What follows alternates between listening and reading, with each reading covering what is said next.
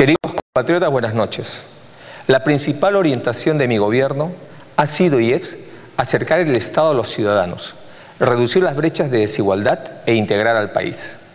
Es necesario recordar que cumplimos la palabra empeñada en el año 2011 y que el espíritu democrático que nos animó está presente en todas las acciones de nuestro gobierno nacionalista que me honro en presidir. Hemos descontaminado de clientelismo toda la acción social del gobierno, impidiendo que los colores políticos guíen las acciones adoptadas en beneficios de los más pobres y los más excluidos. Y hemos sido responsables y escrupulosos con el manejo del dinero público. Nuestro gobierno se ha caracterizado por un marcado acento en la política social y el crecimiento económico sostenido, basado en nuestra premisa de incluir para crecer. Este será el sello de nuestro gobierno.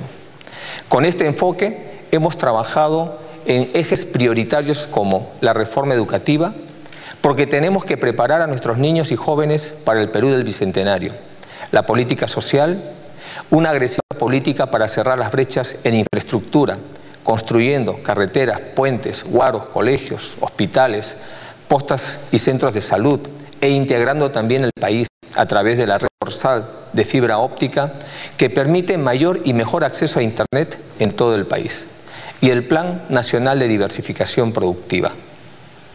Para romper con el círculo hereditario de la pobreza, era necesaria una reforma radical en la educación pública. Por eso me he preocupado en incrementar sostenidamente el presupuesto de educación y estamos llegando aproximadamente al 4% del Producto Bruto Interno. También se ha destinado la cifra histórica de 13 mil millones de soles a mejorar la infraestructura educativa. En nuestro gobierno hemos construido y rehabilitado alrededor de 4.000 escuelas en todas las regiones del país, principalmente en el área rural. Para el próximo año tendremos 22 colegios de alto rendimiento en la misma cantidad de regiones para potenciar las capacidades de los mejores escolares del Perú y que tengan oportunidades de optar por el bachillerato internacional. Antes, muchos talentos jóvenes se perdían. Hoy, solo con Beca 18, hemos beneficiado a más de 45 mil jóvenes a nivel nacional. Y en total, nuestro gobierno ha entregado más de 83 mil becas de estudios para el Perú y en el extranjero. En la tarea del Estado de dar oportunidades a niños, jóvenes y adolescentes, el programa Jaliguarma atiende a 3.4 millones de niños y niñas con alimentación escolar a nivel nacional. Nuestra estrategia, Incluir para Crecer, ha dado como resultado que más de 2 millones de peruanos y peruanas superen su situación de pobreza. Porque así como es importante el crecimiento económico, también es importante reducir la desigualdad. Es una buena noticia entonces que a cuatro años de su creación Pensión 65 ya está llegando al total de adultos mayores en situación de pobreza extrema a nivel nacional. Los programas Juntos, UNAMAS, Pacuwiñay, ya son parte sustancial de la política de Estado y son considerados modelos en varios países como herramientas de lucha contra la pobreza. Para nosotros, un programa social no es solo un apoyo con alimentos o dinero, es sobre todo la oportunidad de mejorar su calidad de vida. Un ejemplo de eso es el programa Cocina Perú, que redujo el índice de enfermedades respiratorias que ocasionaban las cocinas a leña en las zonas rurales. Solo en el año 2015 hemos entregado 256.000 equipos de cocina a gas para 1.228.792 peruanos y peruanas. El Fondo de Inclusión Social Energético, FICE, tiene más de 966.000 beneficiarios que reciben bonos por 16 soles por la compra de un balón de gas. El sector salud es también una prioridad de nuestro gobierno. Para ello, incrementamos el presupuesto que ahora representa el 10.5% del gasto público o inversión pública, que ha posibilitado la afiliación de 16 millones de peruanos al Seguro Integral de Salud. Todo niño recién nacido que no cuenta con ningún seguro de salud ahora es afiliado automáticamente. En este año, bajo esta medida, se han afiliado a 350.000 recién nacidos. En lo que va de nuestra gestión, se han construido 91 establecimientos nuevos, entre hospitales, y centros de salud, con proyección para inaugurar otros 51 establecimientos en el próximo año. Un hito muy importante en esta gran reforma es la creación del Plan Esperanza, que a la fecha ha atendido gratuitamente a casi 200.000 pacientes con cáncer. Los últimos datos registran una reducción en la desnutrición crónica infantil en menores de 5 años. En el año 2011 teníamos 19.5% y hoy tenemos 14.2%, con lo cual hemos cumplido largamente con la meta de los objetivos del milenio para este indicador. Un dato importante es señalar que hemos reducido la pobreza extrema de 6.34% a 4.28% en los últimos cuatro años. Para llevar bienestar y calidad de vida a las peruanas y peruanos, se ha impulsado la instalación de servicios básicos como agua, desagüe, electricidad, en especial en las áreas rurales, para disminuir las brechas entre el campo y la ciudad. Ahora, dos de cada tres familias tienen acceso a la red pública de agua y desagüe, y se ha llevado electricidad a más de 8.700 localidades, beneficiando a más de 1.200.000 ciudadanos.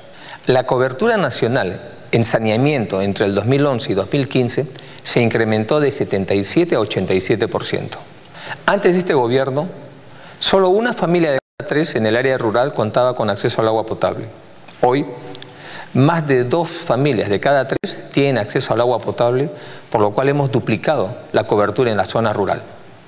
Hemos invertido para agua y saneamiento más de 4.323 millones de soles en zonas rurales y 4.638 millones en zonas urbanas entre agosto del 2011 y diciembre del 2015. A través de SEDAPAL hemos inaugurado la planta de tratamiento de aguas servidas de la Tahuada y estamos concluyendo la planta de la Chira que próximamente estará puesta en funcionamiento. En relación a vivienda, la meta de nuestro gobierno es colocar 240.000 viviendas sociales, con lo cual se logrará un récord histórico en promoción de viviendas en el Perú, superando en más del doble lo entregado en los últimos 15 años. Hasta ahora hemos promovido la entrega de más de 186.000 viviendas. En el área de energía, hemos hecho una gran inversión para ampliar la generación de electricidad.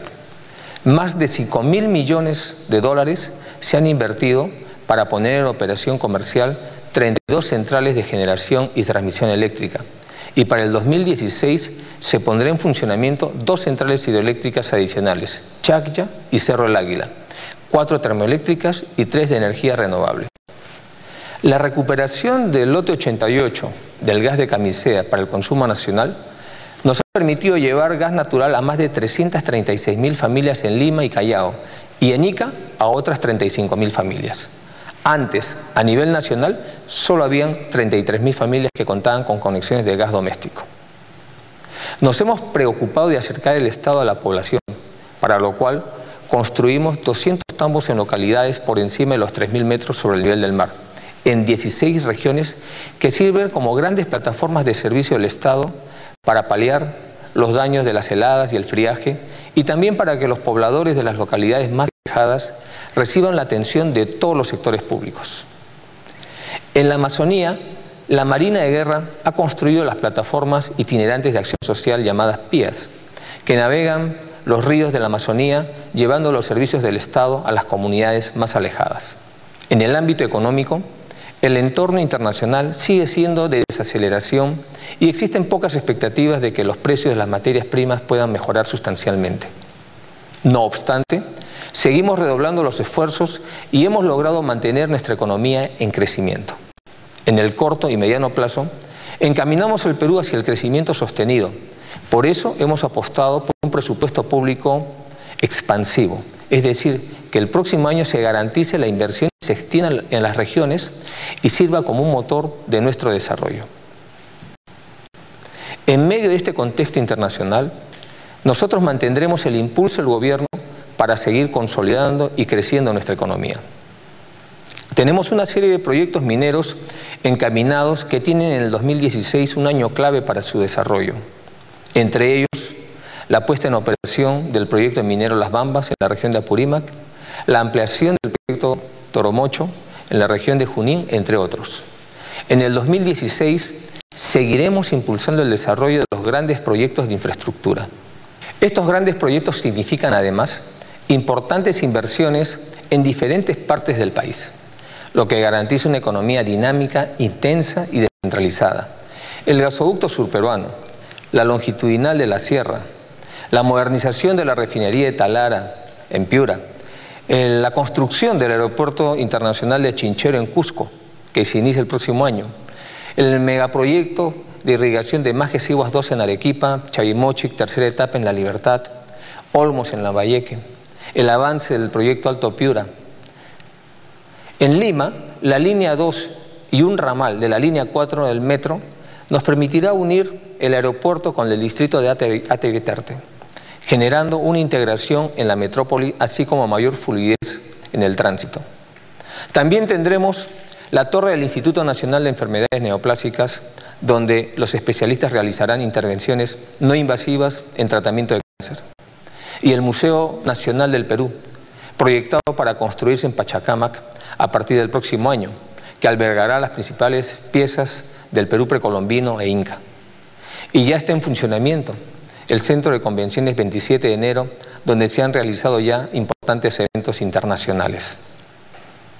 La infraestructura vial ha ido avanzando dentro de lo previsto y podemos anunciar que al terminar nuestro gobierno tendremos más del 85% de las vías nacionales pavimentadas, del 54% que las recibimos. Es decir, recibimos poco más de 12.500 kilómetros de red pavimentada, que fue lo realizado por los gobiernos anteriores. Bajo nuestra gestión, entregaremos 19.900 kilómetros pavimentados y en construcción 3.000 kilómetros adicionales. Cuando iniciamos nuestra gestión, Amazonas, por ejemplo, tenía solo el 36.6% de sus carreteras asfaltadas. A julio de 2016 tendrá el 100%. Recibimos Ayacucho con el 31.5% de vías asfaltadas y le entregaremos al 2016 al 100%. Huancavelica también es simbólico. Cuando llegamos al gobierno tenía, tenía el 23% de carreteras con asfalto lo dejaremos en el 97%. Similar situación ocurre en otras regiones del país. Junín, Arequipa, Lima, San Martín, Cajamarca, Puno, Anca, Chapurímac, Huánuco, Cusco, La Libertad, Pasco, entre otras. A la fecha, podemos informar del avance en construcción de vías de doble calzada. De los 393 kilómetros recibidos, dejaremos 1.100 kilómetros de autopistas asfaltadas a julio del 2016 y en construcción 400 kilómetros adicionales. Dentro de estas obras se encuentra también la doble vía que nos permite articular desde Ica a Trujillo. Nuestra infraestructura portuaria también ha recibido importantes inversiones. Se han ejecutado 762 millones de dólares de inversiones en obras de mejoramiento de los puertos del Callao, Paita, Matarani, Pisco y Yurimaguas. Y quedan pendientes de inversión 1.036 millones de dólares hasta el 2022. En evaluación se encuentran los terminales de Salaberry, Chimbote e Hilo, por 685 millones de dólares. Trabajamos para dejar el Perú altamente potenciado y tener una comunicación digital de mayor cobertura, moderna, efectiva, con la instalación de 13.500 kilómetros de fibra óptica en 180 de las 196 capitales de provincias del país. Ya hemos licitado ocho redes regionales de fibra óptica para llevar Internet de alta velocidad a 575 capitales de distrito y 3.031 localidades. Impulsamos el programa ProPuentes para instalar mil puentes a nivel nacional que permitan la integración de pueblos y familias, así como potenciar el intercambio comercial y turístico. Entre estos, iniciaremos las obras del puente sobre el río Nanay, que será el más largo de Sudamérica. El Plan Nacional de Diversificación Productiva viene impulsando nuevos motores al crecimiento. Estamos invirtiendo en la mejora de la competitividad y la elevación de los índices de productividad en los centros de innovación tecnológica. Estamos creando mayor número de centros de innovación tecnológica a nivel nacional. También se ha creado el Sistema Nacional de Calidad y hace unos días inauguramos el Instituto Nacional de Calidad, llamado INACAL. Luego de varias décadas, el Perú nuevamente coproduce aeronaves para la instrucción de pilotos mediante la celebración de convenios de gobierno a gobierno con países hermanos que incluyen transferencias tecnológicas para la coproducción de aviones de instrucción y entrenamiento para nuestra Fuerza Aérea. En esa misma línea, hace un mes visitamos las instalaciones de Airbus en Toulouse, Francia, donde se construye el primer satélite del Perú, que debe ser lanzado a órbita a julio del 2016. En el sector interior, venimos realizando un importante programa de equipamiento policial que nos ha permitido adquirir tecnología y logística policial con una inversión aproximada de 2.000 millones de soles. Con esta inversión sin precedentes, se está modernizando la policía, la aviación policial mediante la adquisición de cinco nuevos helicópteros, se han adquirido 800 patrulleros llamados inteligentes y vamos a ampliar este equipamiento con más de 2.100 patrulleros nuevos. Además, se han adquirido otros vehículos de uso policial, haciendo un total aproximado de más de 4.500 vehículos, lo que representa el 75% del déficit del parque automotor que tenía la policía. Hemos dotado a la policía de aproximadamente 3.600 motocicletas y se encuentran en proceso de adquisición 2.000 más. Hemos incrementado en aproximadamente 30.000 efectivos policiales y se han creado unidades especiales como la Fuerza de Intervención Rápida. En la lucha contra el narcotráfico, los resultados son muy importantes. Este año hemos logrado reducir aproximadamente 36.000 hectáreas de cultivos ilegales de hoja de coca, con lo que superamos la meta trazada para este año, que era de 35.000. En estos cuatro años de gobierno hemos reducido en total aproximadamente 109.000 hectáreas de hoja de coca. Esto representa más del doble de lo realizado en los dos gobiernos anteriores. Nos hemos preocupado también del bienestar policial, con un programa de incremento de sus ingresos cuyo cuarto tramo se hará efectivo antes de fin de mes. Después de 30 años, levantamos el estado de emergencia en el Alto Guayaga, luego de haber logrado reducir sustancialmente los niveles de violencia y criminalidad en dicho lugar. Nuestro gobierno entrega entonces la región del Alto Guayaga debidamente pacificada y en franco proceso de desarrollo económico. Y en el Braen, donde la Policía Nacional del Perú tendrá el control interno Seguiremos luchando contra el tráfico ilícito de drogas, contra la tala ilegal de madera, la incautación de insumos químicos y otras actividades ilícitas. En nuestra gestión de política exterior, resolvimos ante la justicia internacional e hicimos valer nuestros derechos en una controversia limítrofe que manteníamos pendiente durante décadas.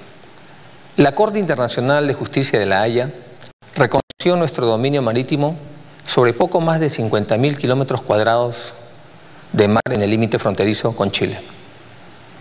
E implementamos el fallo de manera rápida y eficiente.